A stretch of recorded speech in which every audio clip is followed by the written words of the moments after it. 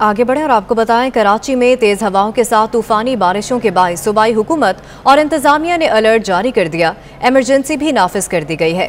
कराची और हैदराबाद में बाईस हैवी ड्यूटी डी वाटरिंग मशीनें ज़िले इंतजामिया के हवाले की गई है। महकमा मौसमियात ने खबरदार किया है कि तूफानी बारिशों के बायस शहर में अर्बन फ्लडिंग की सूरत हाल बन सकती है। चीफ मेट्रोलॉजिस्ट सरदार सरफराज कहते हैं कि कल सुबह तक सिस्टम साइक्लोन में तब्दील हो जाएगा।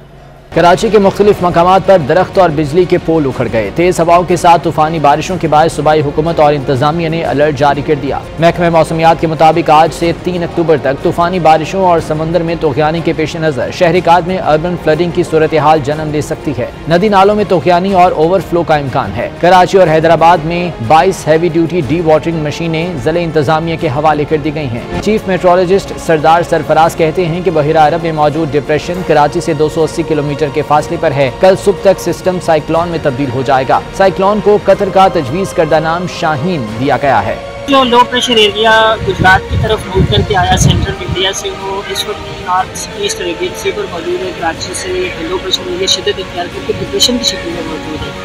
और खदशा ये है कि आइंदा चौबीस घंटों में साइक्लोन की शक्ल इख्तियार कर सकते हैं। वजी अला सिंध ने शहरिकात के तमाम अजलामी अरकान असम्बली, सूबाई वजरा, मशीरान की ड्यूटियाँ लगा दी हैं। वज़ीर बल्दिया सिंध नासिर हुसैन शाह की जेर सदारत इजलास में अमले को चौकस कर दिया गया। वजी अला सिंध के मुशीर माहौलियात की जेर सदारत सूबाई डिजास्टर मैनेजमेंट अथॉरिटी के हंगामी इजलास में अथॉरिटी के अमले और अफसरान की छुट्टियाँ मनसूख कर दी गई सिविल एविएशन अथॉरिटी ने भी एयरपोर्ट आरोप अलर्ट जारी करते हुए छोटे तैयारों को महफूज जगह और विंग्स को भारी वज़न बाँध कर पार्क करने की हिदायत दे दी है।